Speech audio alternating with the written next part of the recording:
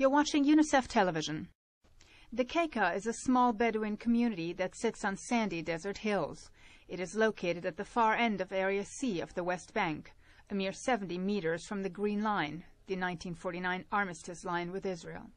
The village is under full Israeli control. Like most communities in Area C, the 300 residents of Dkeika have no electricity, no piped water, no infrastructure, and no playground. The village can only be reached after making it up a four-kilometer rocky path, accessible only to 4x4 vehicles, a luxury Bedouin families can rarely afford. They are also at greater risk of violence and demolition of their homes. Despite these challenges, Dkeika has one school that serves 45 students in grades 1 through 6.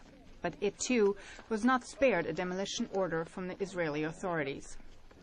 In response, the community sought legal aid from an Israeli organization called Rabbis for Human Rights, and in October of last year succeeded in freezing the demolition order. Yet, a newly added classroom was not included in the freezing of the demolition order. 12-year-old Rana Najadeh remembers. The Israeli army came to demolish our class, fifth grade class. I ran out of class and found my younger brother Suleiman crying, and all the children were crying. I started comforting them. After the demolition ended, we started studying in the open air, and we continued our school year without classes. With Islamic Relief Worldwide, UNICEF rehabilitated the school to enable children to learn, develop, and grow to their full potential.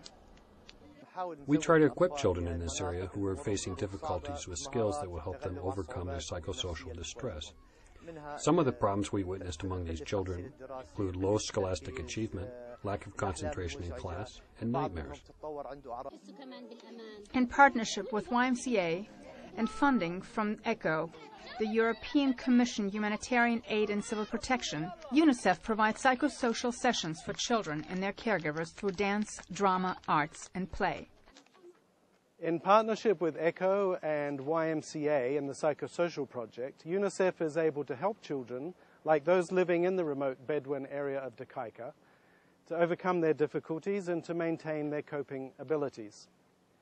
Sometimes, for children, it's simply the opportunity to play and to have fun to be a child in a safe environment. Often, counseling is involved. In the end, the psychosocial project is important for children to have a sense of stability, normality, and the opportunity to reach their potential.